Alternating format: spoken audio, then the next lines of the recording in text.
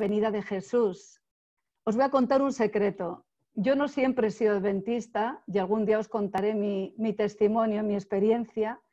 Y quiero deciros que cuando escuché esta, esta, profecía, eh, esta promesa que Jesús nos dejó, es lo que más llegó a lo profundo de mi corazón y siempre me ha encantado hablar acerca de ello.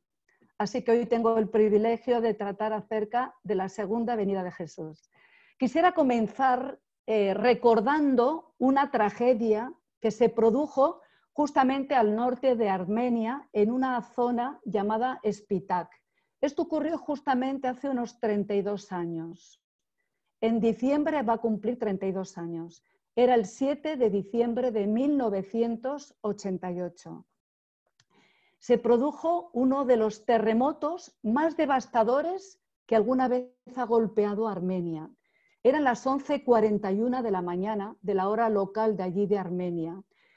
Y el, grado de, magnitud de este terremoto, según la escala Richter, fue de 6,8, o sea que realmente fue devastador.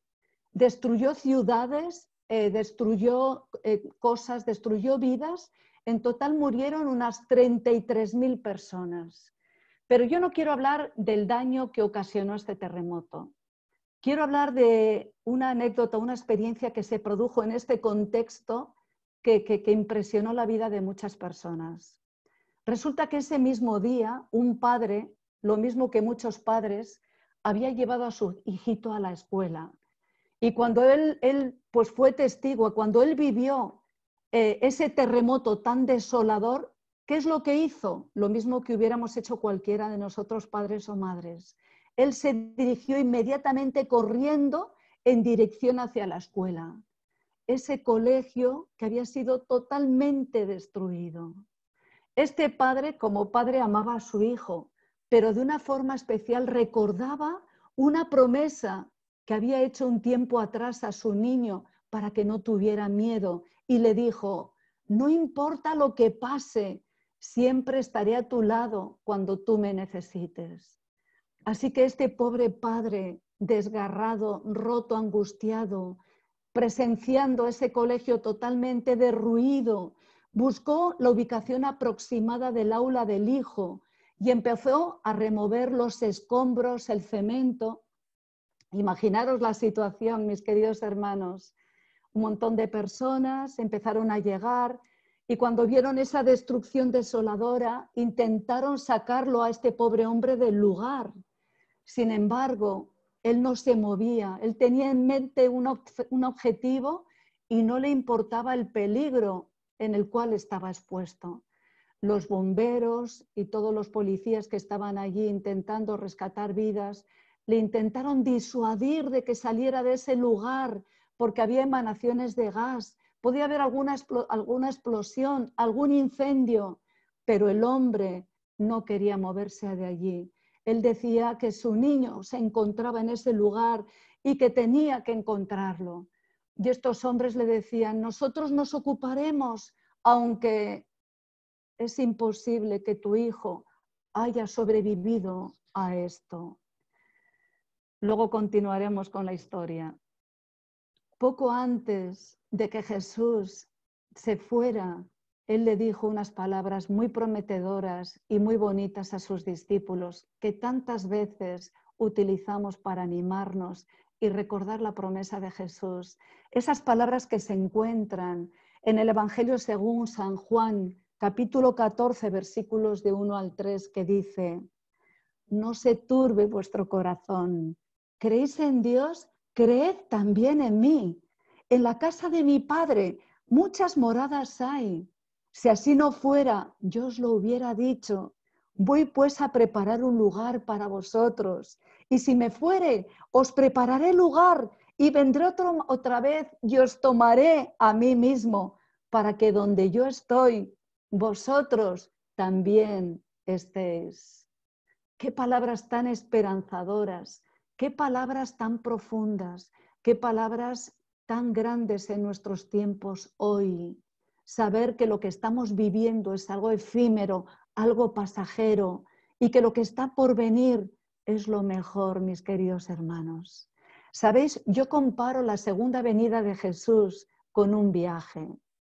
Y sobre todo esos viajes que son largos, son tan largos y además a pesar de que nos recomiendan que hagamos paradas, es tan grande el anhelo y, la ilusión y el deseo que tenemos de llegar a nuestro destino que no paramos y hacemos de una el viaje. ¿Y qué es lo que ocurre? Pues que los párpados empiezan a pesar, que sentimos como, los brazos ya están adormecidos, sentimos calambres en las piernas, es decir, el cuerpo ya no aguanta más tanto tiempo sentado y tantos y tantos kilómetros. Pero, ¿qué es lo que ocurre cuando de repente vemos un cartel en el que vemos justamente la dirección a la que vamos, que queda ya poquito? De repente es como si comenzáramos de nuevo el viaje. Nos olvidamos de los síntomas del cansancio y las pocas fuerzas que nos quedan las centramos en llegar a nuestro destino, porque nos imaginamos el rostro de nuestros amados, nos imaginamos el reencuentro, lo grande que va a ser el poder abrazar a esas personas que quizás hace tiempo que no vemos y que son tan significativas para nosotros. Pues sabéis, mis queridos hermanos, hay otro viaje en el que estamos a punto de llegar al destino queda ya muy poquito y es el viaje de nuestras vidas. Es el viaje además del que no tiene retorno. ¿Deseas encontrarte con el que viene a buscarnos? ¿Deseas encontrarte con Jesús? La larga noche del transitar por este mundo de pecado ha hecho que muchos cristianos se cansen de, esperar que muchos cristianos se sientan somnolientos, hartos, cansados, se les ha hecho demasiado el viaje y es como que hubieran abandonado, es como que pensaran que Jesús ya tarda demasiado y, esa tardanza, pues tristemente, ha contribuido para que muchos se cansen y dejen y, ya lleguen a pensar, ¿realmente va a volver Jesús? cuando ya los primeros cristianos ya predicaban acerca de la inminencia de Jesús, cuando ya los pioneros adventistas ya decían que Cristo viene pronto, ¿realmente va a volver Jesús? Pero mis queridos hermanos, yo creo que hoy más que nunca se están cumpliendo las palabras de Pablo en el libro de los Romanos, en el capítulo 10, eh, perdón, capítulo 13, versículo 11, que nos dice lo siguiente, y esto conociendo el tiempo, que es, ya que es hora de levantarnos del sueño, de esa somnolencia que la espera nos haya podido provocar.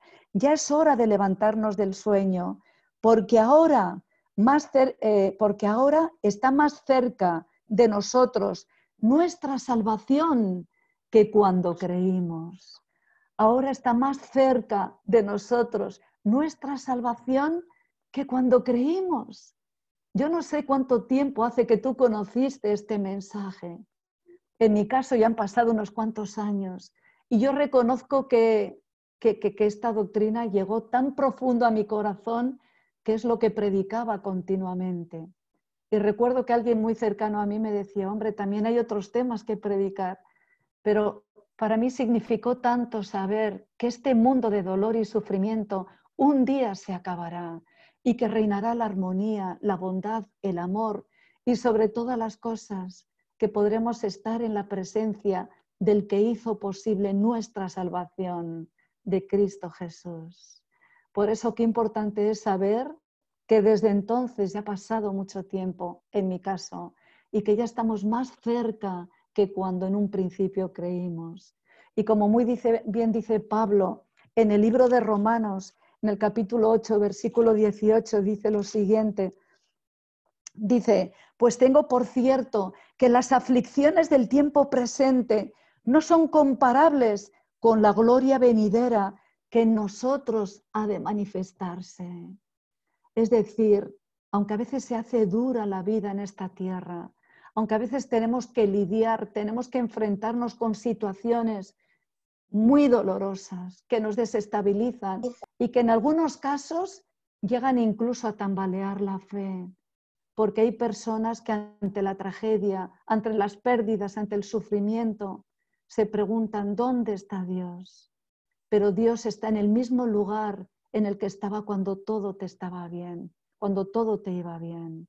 Por eso lo importante es, en los momentos de dificultad, agarrarnos al Señor y seguir confiando porque lo mejor está por venir.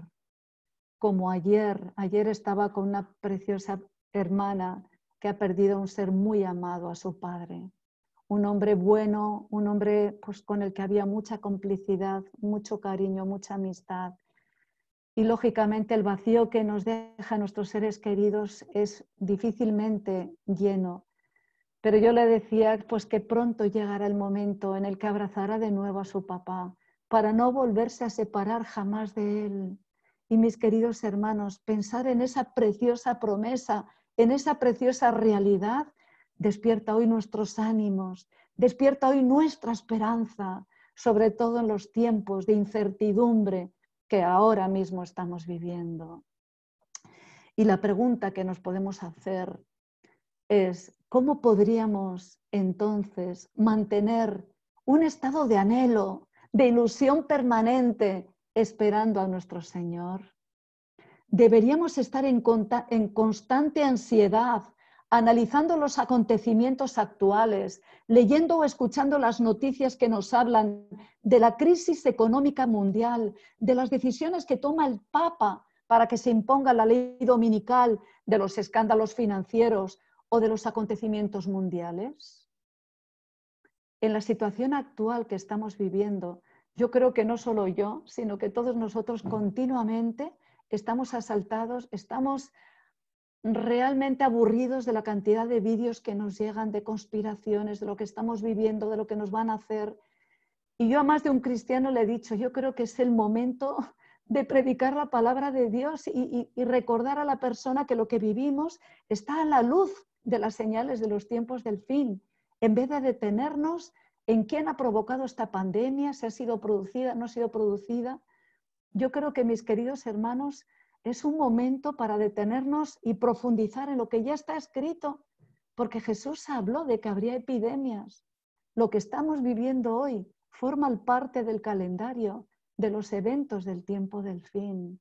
Por eso no nos detengamos en el evento, sino en lo que está a punto de venir, en lo que está a punto de venir. Por eso yo os, os pregunto, ¿creéis que las noticias y el cumplimiento de las profecías son suficientes para mantenernos esperando, anhelando el encuentro con nuestro Señor? Yo os vuelvo a preguntar, mis queridos hermanos, ¿creéis que las noticias que actualmente estamos escuchando, que el problema de la pandemia del coronavirus que estamos viviendo y todas las interpretaciones proféticas que se están dando acerca de lo que estamos viviendo, eso es suficiente para mantenernos esperando y anhelando el encuentro con nuestro Señor? ¿Crees que eso es suficiente? Yo quisiera responder con esta pregunta. Sabéis que muchos hermanos y hermanas que yo he conocido a lo largo de mi historia como adventista, ellos creían y estudiaban las profecías y ellos fueron testigos del cumplimiento de muchas de ellas. Pero sabéis una cosa, hoy no están aquí. Muchos hoy no están aquí. Como digo, fueron testigos de grandes acontecimientos que señalaban lo que ya estaba escrito y lo que está por suceder. Sin embargo, el viaje se les hizo largo y se durmieron. Por eso Pablo lo expresa muy bien en la carta que escribió a Tito en el capítulo 2, en los versículos 11 al 13. Yo os invito, hermanos, a que vayamos al libro de Tito, la carta de Tito, en el capítulo 2, versículos del 11 al 13, que dice, porque la gracia de Dios se ha manifestado para salvación a todos los hombres, mujeres, jóvenes, niños, a todas las personas, enseñándonos que renunciando a la impiedad y a los deseos mundanos, vivamos en este siglo sobria, justa y piadosamente, aguardando la esperanza bienaventurada y la manifestación gloriosa de nuestro gran Dios y Salvador Jesucristo. Yo creo, mi querido hermano, mi querida hermana, que no hay mejor manera de expresar lo que ha ocurrido con estas personas.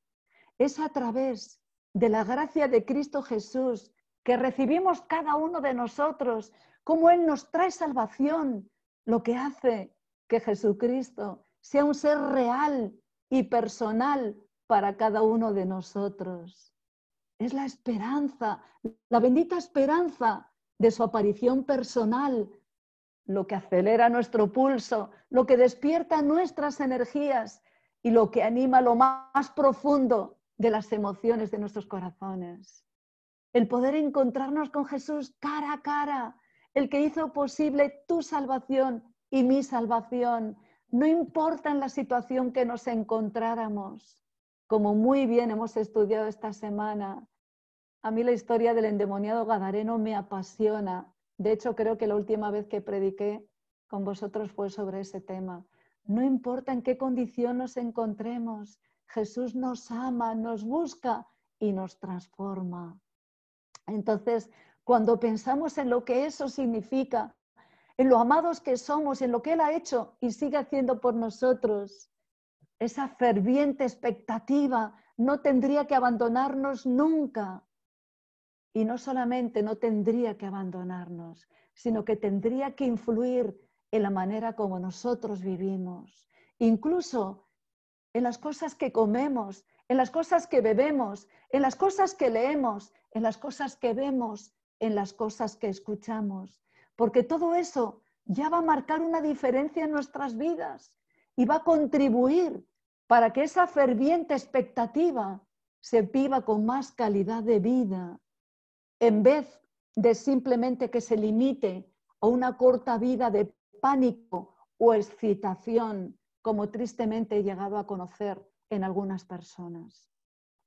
En una ocasión, un pastor hizo la siguiente pregunta a su congregación. ¿Cuándo fue la última vez que tuviste que tomar una decisión importante de tu vida teniendo en cuenta el pronto regreso de Jesús? Vuelvo a hacer la pregunta. Me parece una pregunta tan oportuna y tan sabia. ¿Cuándo fue la última vez que tuviste que tomar una decisión importante en tu vida y tuviste en cuenta o teniendo en cuenta el pronto regreso de Jesús? Hay personas que cuando piensan en comprarse una casa o en comprarse un coche o en viajar, no lo hacen pensando en que todo esto se va a quedar aquí, sino simplemente se limitan a vivir bien en esta tierra, porque su cielo se limita a esta tierra. Yo vivo en un lugar precioso. Cuando Noé nos encontraba el lugar donde está, pues no me dabas envidia, Noé, porque donde yo estoy también es maravilloso. Y hoy, hoy más que nunca tengo claro de que ya no quiero volver a vivir en una ciudad. Vivo en un pueblecito pequeño, San Antonio de Vilamayor.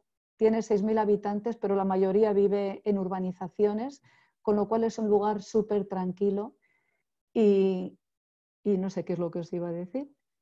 No recuerdo. Ah, sí.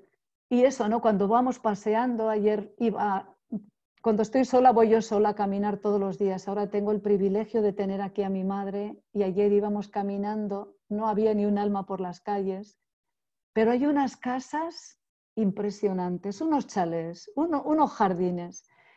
Y mi madre pues se quedaba admirada. Yo le decía, macho, lo que Dios nos tiene preparado pues es, todavía mucho más grande que lo que ahora estamos viendo, ¿no? Entonces yo entiendo que estas personas que no viven pensando en el cielo, quieran vivir su cielo en esta tierra. Pero en nuestro caso, mis queridos hermanos, nuestra vida en esta tierra tiene que estar abocada, nuestras decisiones tienen que, que tienen que estar abocadas a lo que estamos a punto de vivir, el segundo regreso de Cristo Jesús a la tierra. Por eso, qué importante es que, todo lo que hagamos, que todas las decisiones que, que tomemos, las hagamos teniendo en cuenta ese aspecto de nuestra vida. Em, y sigo preguntando, ¿es la bendita esperanza del regreso de Jesús el motor que dirige los rodamientos de tu vida, sabiendo que ahora está mucho más cerca de nosotros nuestra salvación que cuando creímos?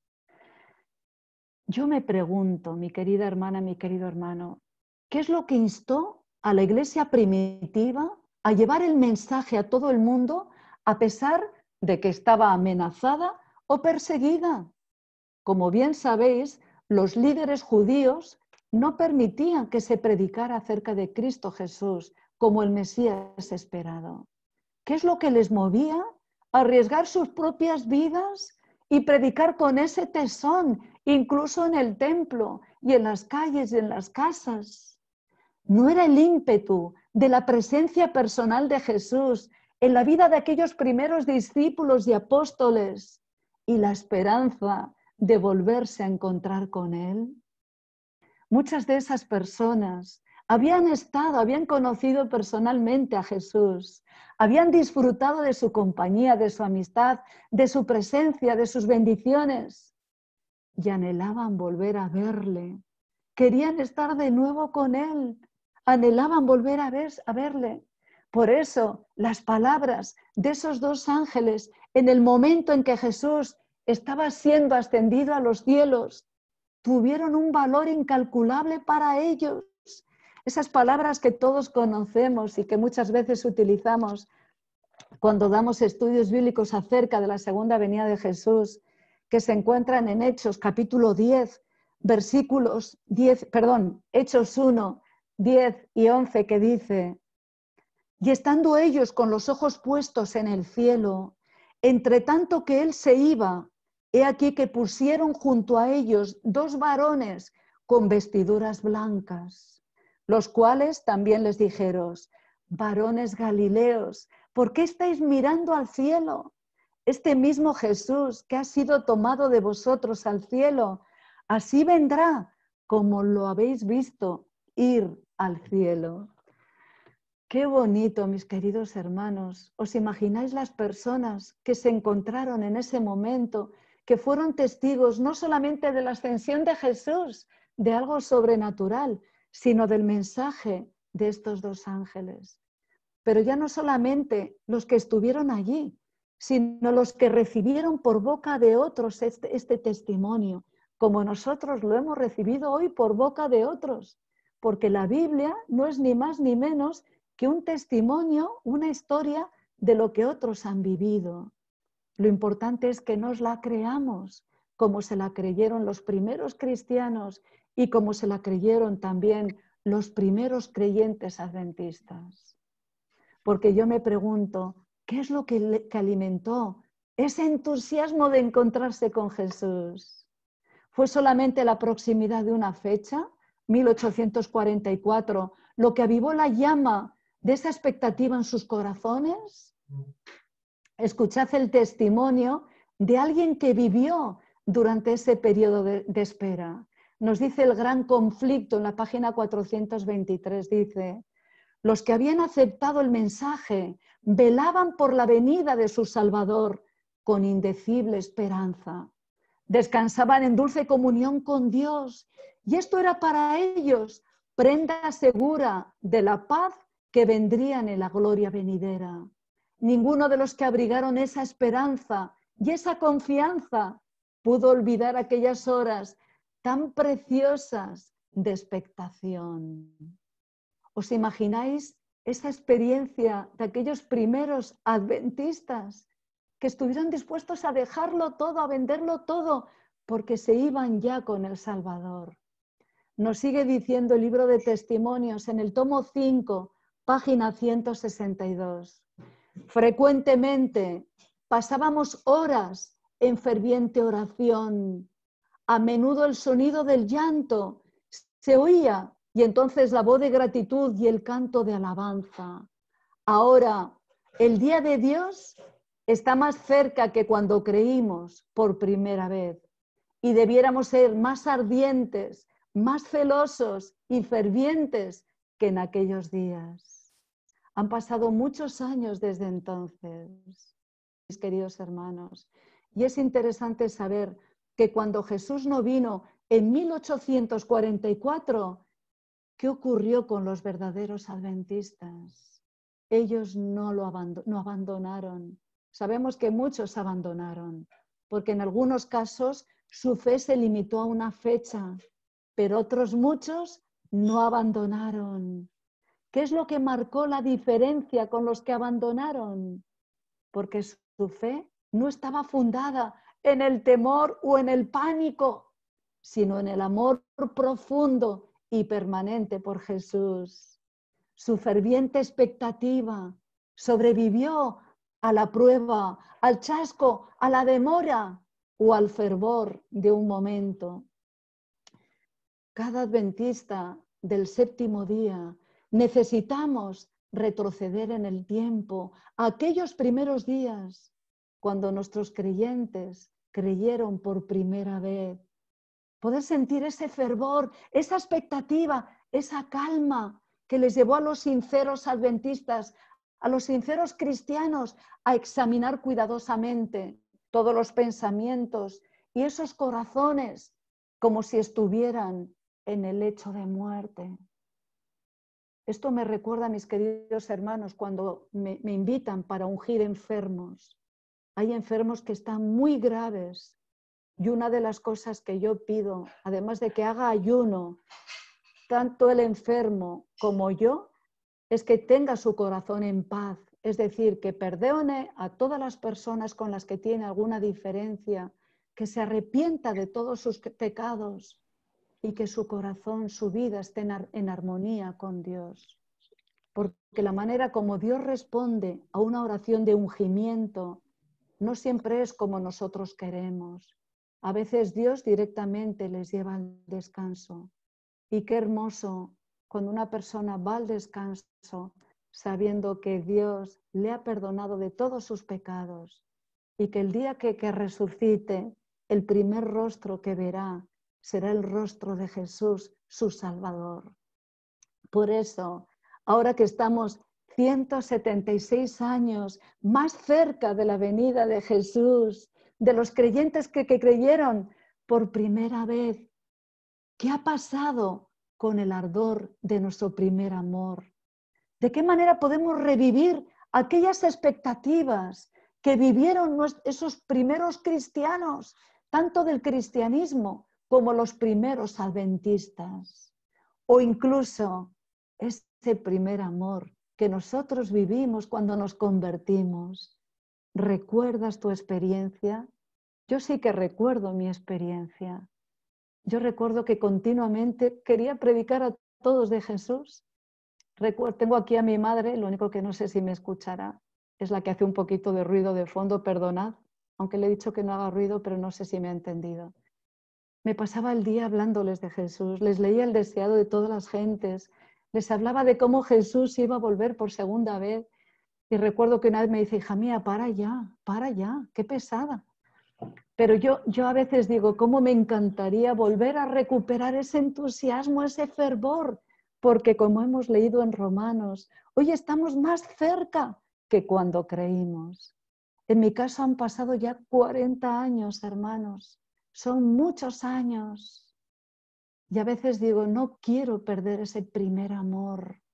A veces los problemas de la vida, a veces las situaciones van apagando ese entusiasmo y esa fuerza, pero no permitamos que eso ocurra, porque hoy estamos más cerca que cuando creímos. Y la pregunta que posiblemente os haréis es, ¿cómo podemos vivir nuestros espíritus cambiantes, vulnerables? Y la respuesta es que volvamos a entusiasmarnos con la idea de que Jesús viene otra vez. Este ser que nos ha acompañado a lo largo de toda nuestra vida, ese ser que cuidó de ti desde el momento en que eras un pequeño embrión, como dice el Salmo 139, 129, me lío, 129. tus ojos me vieron cuando estaba en el seno de mi madre y cómo tu mano me guió, me acompañó, me protegió y me cuidó. Y cuando pensamos en la trayectoria de nuestra vida, situaciones en las que fortuitamente fuimos salvados, pues ante un accidente, ante un problema, cómo la mano de Dios siempre estuvo ahí, cómo nos consoló, cómo secó nuestras lágrimas, cómo nos dio esperanza, cómo nos ayudó a tomar decisiones, cómo nos ha dado fortaleza en la debilidad. Cuando pensamos en ese ser amado que ha hecho tanto por cada uno de nosotros, lo normal es que queramos encontrarnos con Él, que queramos abrazarle sin soltarle y estar tiempo y tiempo y tiempo abrazados a Él y agradecerle por todo lo que ha hecho por nosotros, no solamente en esta vida, sino porque hizo posible nuestra salvación, porque no nos tuvo en cuenta, mis queridos hermanos, y puso y dio su vida por cada uno de nosotros.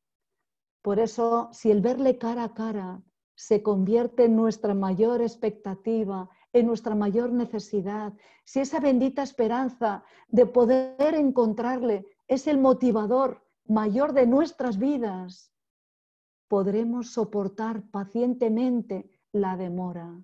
Porque sabéis, mis queridos hermanos, el verdadero amor espera. El, verdadero amor espera. Por ese motivo, Jesús nos utilizó un verbo, dijo un verbo, sabiendo que lo que estamos viviendo y lo que iba a vivir a lo largo de la historia, que mucha gente se cansaría de esperar, pero Él nos dijo, velad, velad. Es el verbo que Él utilizó hablando de nosotros, de sus seguidores de, de los últimos tiempos y de todos los tiempos. Velad pues no sabéis a qué hora ha de venir vuestro Señor. Por tanto, estad preparados. Estas palabras, como bien sabéis, se encuentran en Mateo 24, en el sermón profético que Jesús dio a sus discípulos. Como bien sabéis, versículos antes nos habla de la segunda venida, de su segunda venida, y de las señales que precederían a su venida. Sabe cómo los creyentes de todos los tiempos pasarían dificultades, pasarían pruebas, pero lo más duro sería como muchos de ellos se desanimarían, porque como hemos dicho, quizás están más pendientes de las profecías o de lo que va a suceder que de caminar con Jesús, que de conocer a Jesús, que de valorar su presencia hoy en tu vida. Cuando el Señor es una realidad hoy en mi vida, no me va a importar lo que ocurra, como diremos más adelante, porque yo sabré que de la misma forma que me ha sostenido, que me ha apoyado y me ha ayudado en los tiempos de dificultad, lo hará hasta el final. En, Mateo 24, en el, en el contexto que hemos leído, de velad, porque no sabéis a qué hora ha de venir vuestro Señor él nos habla de dos tipos de siervos. Dos siervos que pienso que reflejan perfectamente la realidad nuestra, mis queridos hermanos, nuestra realidad. Yo os invito a que vayamos a Mateo capítulo 24, versículos 48 al 51. Mateo 24, a los que estéis buscando vuestras Biblias, versículos del 48 al 51 nos dice lo siguiente, pero si aquel siervo malo, nos habla de dos siervos, el siervo prudente y el siervo malo. De hecho, empecemos por el 45, que ahí hace la siguiente pregunta. ¿Quién es pues el siervo fiel y prudente al cual puso su Señor sobre su casa para que les dé el alimento a su tiempo? Y ahora vamos a los versículos 48 al 51, que dice, pero si aquel siervo malo dijera en su corazón, mi señor tarda en venir, y comenzare a golpear a sus consiervos, e incluso a comer y a beber con los borrachos, vendrá el señor de aquel siervo en el día que éste no espera y a la hora que él no sabe, y lo castigará duramente y pondrá su parte con los hipócritas. y allí será el lloro y el crujir de dientes. ¿Quién es este siervo malo, mis queridos hermanos? Este siervo malo no es de los burladores que nos menciona en segunda de Pedro capítulo 3 versículo 4, que son incrédulos y viven totalmente en contra de, de los requisitos o de la voluntad de Dios. Es alguien, son personas que pretenden creer, son personas que han aceptado la responsabilidad de brindar, de llevar alimento espiritual a los miembros de la familia de la fe, con el fin de que se preparen para ese encuentro con Jesús, cuando Jesús regrese. Eso es lo que dice en el versículo 45. Pero ¿qué ocurre con este siervo malo, este siervo irresponsable, este siervo que tiene las características del pastor que nos ha presentado, el pastor Néstor, que creo que ha definido perfectamente al siervo malo. Es un siervo hipócrita, es un siervo que le falta convicción. Él vive el Evangelio pues como una carga, no como una bendición. Quizás lo ha vivido desde que era niño, o, perdón, o porque cree que llevando a cabo ciertos ritos va a ser más bendecido por Dios. Pero ¿qué ocurre? Su vida no tiene fervor, su testimonio no, toca corazones. ¿Por qué? Porque no cree en que Jesús realmente es el Señor de su vida. No ha abierto su corazón a Cristo como el Señor de su vida, con lo cual no ha habido una transformación. Entonces vive el ahora, vive preocupado por el ahora. ¿Qué voy a hacer a la puesta de sol? ¿Dónde voy a ir? estoy pensando en quedar con estos amigos, vamos a ir al cine, vamos a pasárnoslo bien. O sea, su vida está anclada en este mundo y como hemos dicho antes, sus decisiones no piensan en la inminente venida de Jesús, piensa en el ahora, en pasarlo bien ahora y el vivir ahora. Qué triste y qué bajo puede llegar incluso una persona que no mantiene encendida la llama de la fe, como tristemente está ocurriendo con muchas personas. ¿A quién representa este siervo? Como hemos dicho, representa a aquellos siervos que profesan, creer en Jesús, incluso que Cristo vendrá, pero no inmediatamente. Creen que el Señor está demorando y piensan que aún tienen tiempo para vivir como les dé la gana. Pueden hacer lo que quieran. Y cuando realmente ya se vean señales evidentes de que Cristo viene, entonces ya se arrepentirá y cambiará su vida. ¿A qué es fuerte lo que estoy diciendo? Pero hay personas que piensan así y no se dan cuenta que cuando estamos rechazando al Espíritu Santo, llega un momento en que se insensibiliza la conciencia y ya no tenemos la necesidad ni de cambiar ni de hacer las cosas que a Dios le agrada. Por otro lado, el Señor en cualquier momento nos puede llevar al descanso. ¿Cuántas personas están tan preocupadas por la ley dominical y, las profecías?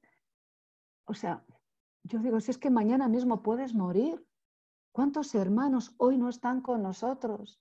Hermanos que no estaban enfermos, pero el coronavirus se los ha llevado. Mañana no sabemos lo que nos puede ocurrir. Por eso Jesús hablaba desde el primer momento de la inminencia de su venida porque Él nunca ha querido que la gente ponga fechas, ni que viva pendiente de las profecías. La profecía es como una brújula que nos va indicando dónde estamos y a qué altura dónde, del lugar. Pero no quiere que mi fe esté abocada a las profecías, sino a la hora. Vivir ahora mi relación con Jesús, como si, como si mañana fuera a vivir. Enamorarme del que está por venir. Si Jesús no es la pasión de mi vida, si el compartirle no es mi mayor deseo, si el hacer su voluntad no forma parte de mis anhelos, pues no voy a tener prisa porque, por Jesús, porque Jesús venga. Voy a vivir una vida pues como la de este mundo. Esta gente que vive sin Dios, que sufre sin Dios, que llora sin Dios, que vive la incertidumbre de los momentos presentes sin Dios. Qué triste y qué duro, mis queridos hermanos. Por eso yo pienso, ¿cuánto necesitamos analizar nuestras propias vidas y poder ser, poder formar parte de ese siervo fiel? Tener las características de ese siervo fiel del que Jesús habla, ¿no? Ese siervo fiel como dice el texto en el versículo 46. Bienaventurado aquel siervo al cual cuando su Señor venga le halle haciendo así. De cierto os digo que sobre todos sus bienes le pondrá, sobre todos sus bienes le pondrá. Por eso qué importante es que entendamos que mientras Jesús venga, la mejor forma de velar es entender que tú, que cada uno de vosotros, mis queridos, mis queridas hermanas, jóvenes, niños, cada uno de nosotros, la mejor forma de velar es trabajar, es preguntarnos, Señor, ¿qué quieres que yo haga? Como cuando, cuando el dueño entregó ciertos dones a, sus siervos, a cada uno le dio una, una cantidad de dones. Dios nos ha dejado dones a cada uno de nosotros. Y decir, Señor, ¿qué quieres que yo haga? Mientras tú vienes a buscarnos, ¿de qué forma puedo, puedo hacer tu obra? Muéstramelo. Y para que yo me enamore de ese Jesús y esté deseando hacerle esa pregunta, tengo que valorar cada día de mi vida lo que Él ha hecho por mí, cómo era mi vida sin Él y cómo es mi vida ahora. ¿Qué transformación ha hecho? ¿Qué hubiera sido de ti, de mí, si no lo hubiéramos conocido? Yo igual no estaría ni en este mundo. Algún día os contaré mi experiencia, mis hermanos. Dios ha hecho tantas cosas grandes por mí, que lo único que puedo decirle cada día, Señor, ayúdame a serte útil, úsame para tu honra y gloria. Y ojalá esa sea cada una de nuestras oraciones mis queridos hermanos, porque, porque el Señor pronto viene a buscarnos. ¿De qué forma o, cómo no lo sabemos? Quizás nos lleve al descanso o quizás venga ya a buscarnos, pero lo importante es que estemos preparados. Es importante saber que el siervo fiel no es el que periódicamente se está perfeccionando a sí mismo por medio de esfuerzos sobrehumanos. Hay personas que creen que ser un siervo fiel es hacer muchos esfuerzos físicos o desarrollar la voluntad. Personas que hacen eso y luego decaen en depresión cuando ocurre cualquier cosa sin importancia, porque quizás no han construido sobre la roca, porque quizás en vez de mirar al único que hace posible nuestra salvación, uno se mira a sí mismo, como a veces puede ocurrir. Tampoco es aquel que constantemente se dice a sí mismo que si logra hacer un poco más, podrá llegar al fin. Eso tampoco es. El siervo fiel es el que siempre está dispuesto, es el que diariamente hace el trabajo que le ha sido asignado, es el que diariamente busca la manera de compartir el amor de Dios. Unas veces hablando y otras veces callando, pero tienen la convicción de que Jesús viene pronto, de que es una preciosa realidad y vive preparado. Hay un texto muy bonito en Patriarcas y Profetas, página 72, que expresa muy bien esta idea. Dice lo siguiente, muchos cristianos serían más fervientes y devotos si supiesen que tienen poco tiempo que vivir o que la venida de Cristo esté por suceder. Pero en el caso de Enoch, su fe se fortalecía y su amor se hacía más ardiente a medida que pasaban los siglos. ¿Y por qué, mis queridos hermanos? Porque como dice Hebreos 11, 27, porque se sostuvo como, como viendo al invisible. Sabemos que estas palabras se refieren a Moisés, pero pienso que perfectamente definen la experiencia de fe de Enoch, porque se sostuvo como viendo al invisible, porque cada cosa que hacía en su vida, cada decisión que tomaba, la hacía no pensando en su propio gusto, no pensaba en agradar sus sentidos, sino en agradar a Dios. Mirad que otra cita muy bonita del deseado de todas las gentes, página 588, dice, por cuanto no sabemos la hora exacta de su venida, se nos ordena que velemos. Bienaventurados aquellos siervos a los cuales, cuando el Señor viniere, hallaré velando. Los que aguardan al Señor purifican sus almas obedeciendo la verdad. Con la vigilancia combinan el trabajo ferviente, por cuanto saben que el Señor está a las puertas, su celo se vivifica para cooperar con los seres divinos y trabajar para la salvación de las almas. Estos son los siervos fieles y prudentes. Es decir, trabajar, eh, eh, velar y trabajar con fervor. Velar y trabajar con fervor. Y la pregunta que nos podemos hacer o que nos debemos hacer es, ¿cuál debe ser nuestra actitud como cristianos que esperan la segunda venida de Jesús, de nuestro Salvador? Debemos estar en un estado de constante alarma viendo cómo se están cumpliendo los eventos finales, como hacen muchas personas. ¿Cómo podemos estar preparados hoy? Es la pregunta que nos debemos hacer y que voy a intentar responder. Yo creo, mi querida hermana y mi querido hermano, que necesitamos vivir la experiencia que vivieron los primeros cristianos. Como hemos dicho antes, muchos de ellos habían estado de cerca, habían estado cerca de Jesús. Muchos de ellos experimentaron el milagro de la transformación. Muchos fueron sanados, a otros se les sacaron eh, demonios, a otros se les ayudó de, de diversas maneras y había en su corazón tanto agradecimiento que su anhelo era volver a encontrarse con Él. Piensa en lo que Cristo ha hecho por ti. Nos ha sacado demonios quizás de no tan evidentes como los que pudo tener el endemoniado Gadareno o María Magdalena u otros endemoniados pero nos ha quitado el demonio de la ira o de la envidia o de la irresponsabilidad o de la hipocresía o de otras formas que desfiguraban la imagen de Jesús en nuestra vida.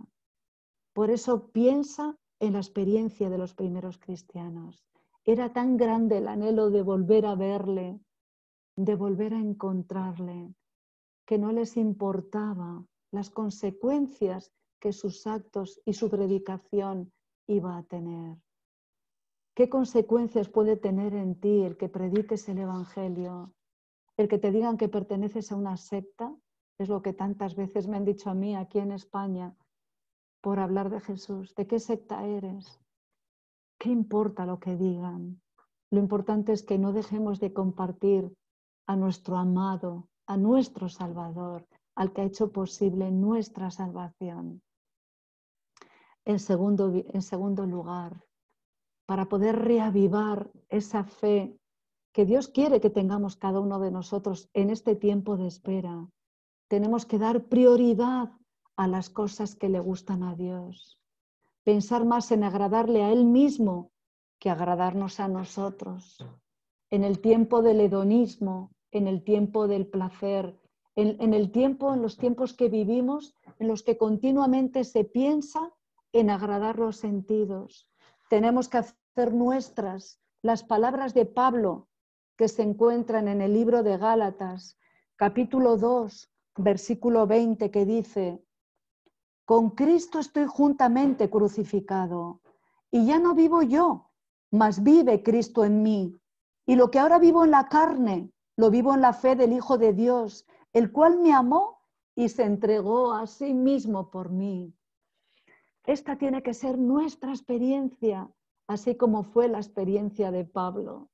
Conocemos muy bien quién fue Saulo de Tarso, cuál era su trabajo, cómo era su carácter.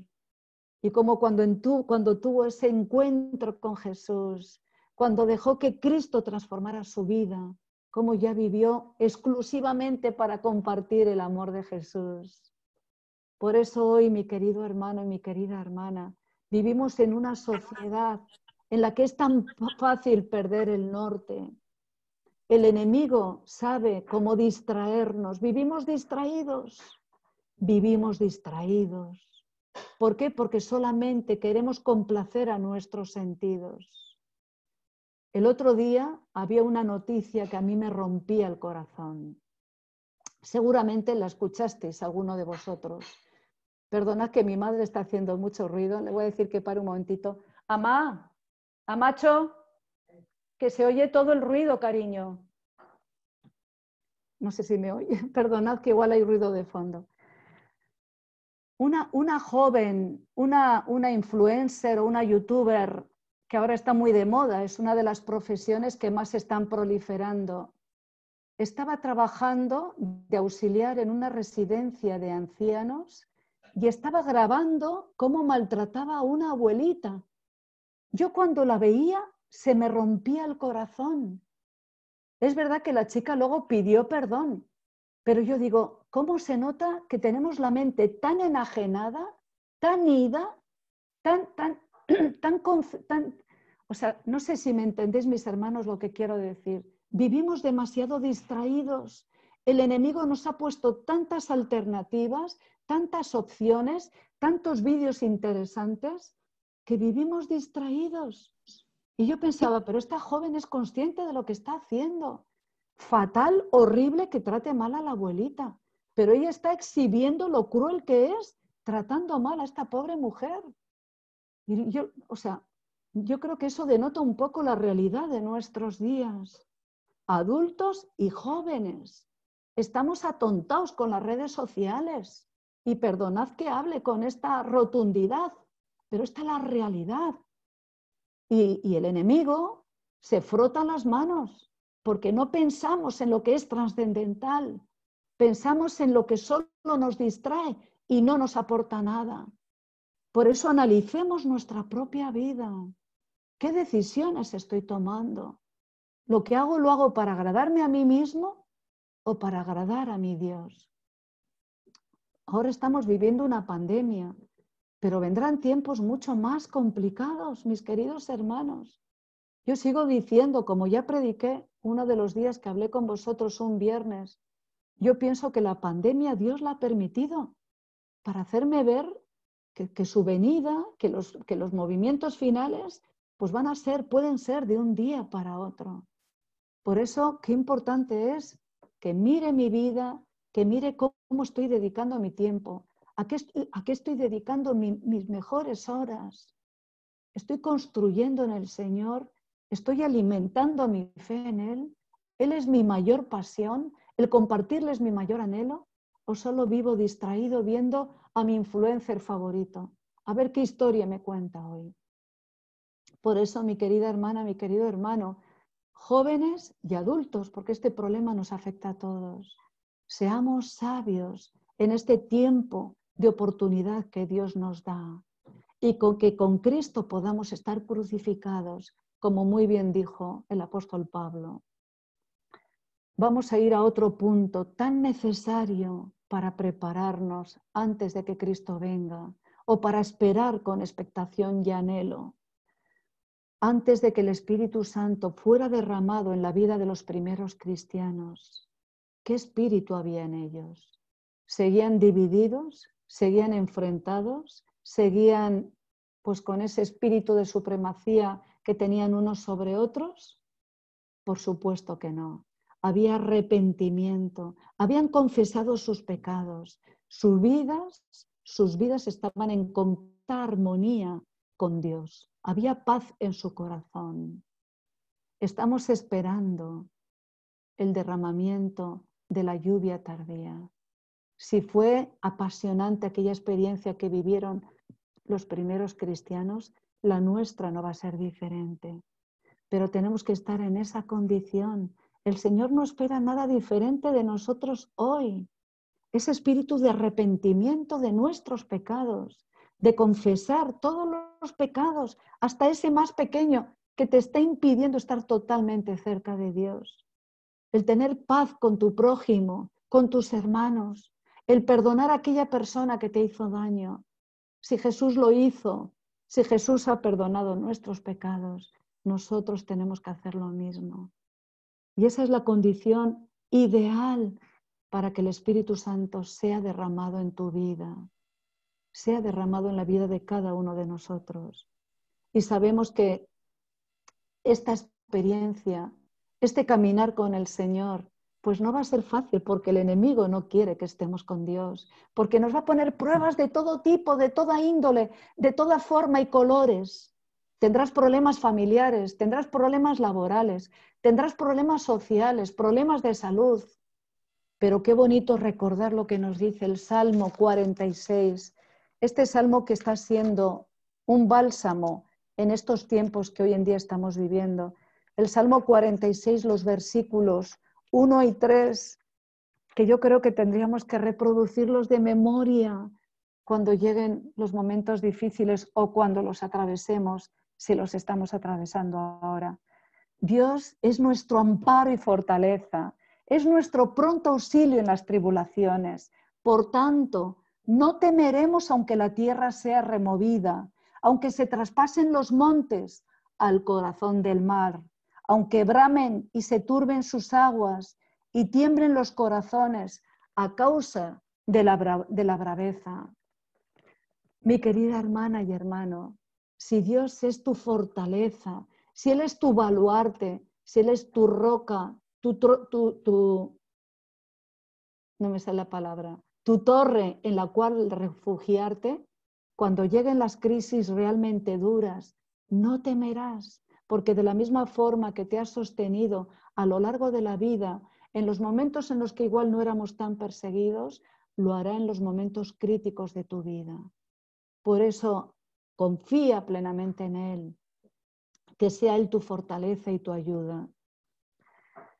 Y por último diremos que debemos recordar que Dios, como hemos mencionado anteriormente, Dios no espera de nosotros hoy menos de lo que, de lo que esperó en las generaciones anteriores.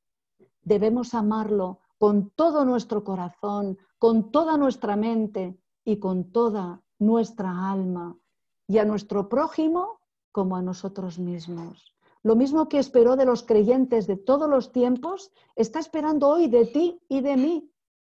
Y aunque nos cueste, como dice Pablo en el libro de Filipenses 2.13, Dios producirá en ti y en mí el querer y el hacer por su buena voluntad. Aunque tengamos situaciones en las que estemos luchando, que nos esté costando enfrentar, Dios producirá en ti el querer y el hacer. Solo tienes que pedirle que te ayude, tienes que pedirle que te dé la fe, que te dé lo que, lo que te está faltando. Y por último, no nos toca a nosotros predecir el momento exacto de su venida porque como bien sabemos, como tantas veces lo explicamos cuando damos estudios bíblicos y hablamos de la segunda venida de Jesús, en Mateo capítulo 24, versículo 36, el día y la hora, ¿quién es el único que lo sabe? El Padre, el Padre que está en los cielos.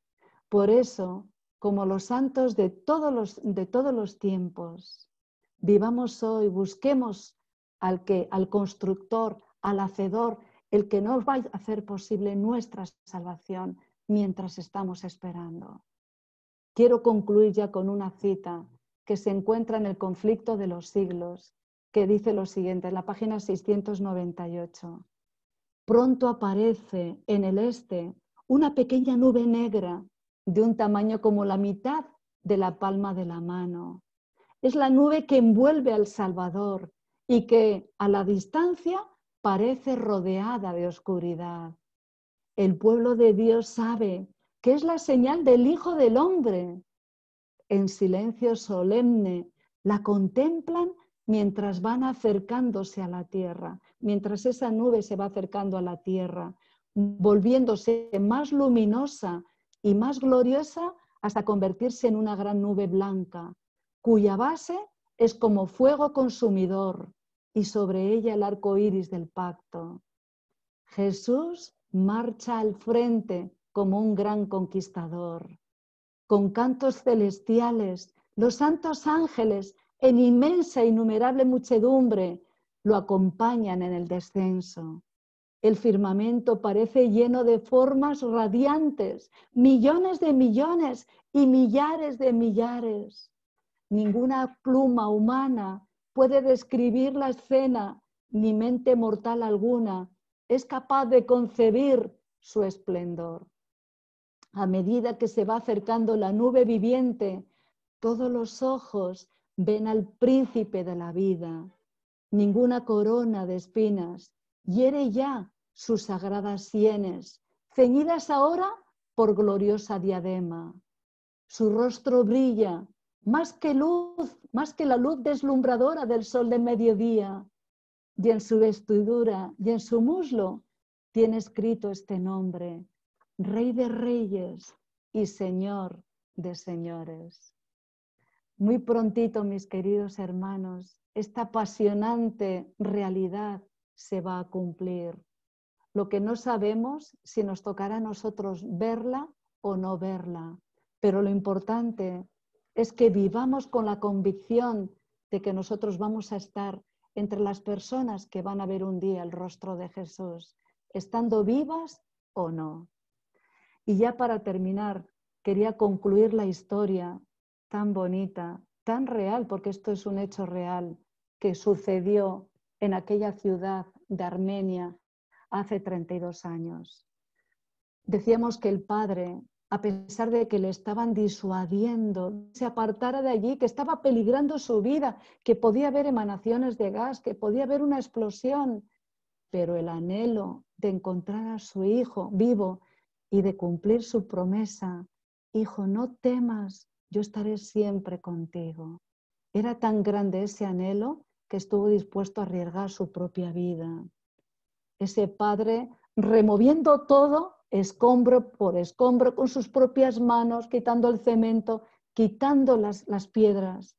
Finalmente, después de 38 horas, de repente escuchó la voz de su hijo. Papi, ¿eres tú? Yo sabía que vendrías. Les dije a los demás niños que no se preocuparan porque tú habías prometido venir a buscarme. Ese día, este padre salvó no solamente la vida de su hijo, sino también la vida de 14 niños. Si eso lo hizo un Padre mortal, cuanto más nuestro Padre celestial está anhelando darnos la salvación. Por eso, mi querida hermana, mi querido hermano, quiero terminar con este texto que ya hemos mencionado, pero que es tan importante que lo recordemos. Romanos capítulo 13, versículos 11 y 12 que dice, y esto conociendo el tiempo, que ya es hora de levantarnos del sueño, porque ahora está más cerca de nosotros nuestra salvación que cuando creímos. La noche está ya avanzada y se acerca el día. Desechemos pues las obras de las tinieblas y vistámonos las armas de la luz. Mis queridos hermanos, que en este tiempo de oportunidad que el Señor nos da, busquémosle de nuevo, de todo corazón, reavivamos la fe, ese ardor que, que, que ardía en nuestro corazón cuando le conocimos, que ese primer amor se pueda reproducir en nuestra experiencia, porque nuestra salvación está más cerca que cuando creímos. Que Dios te bendiga. Amén. Amén.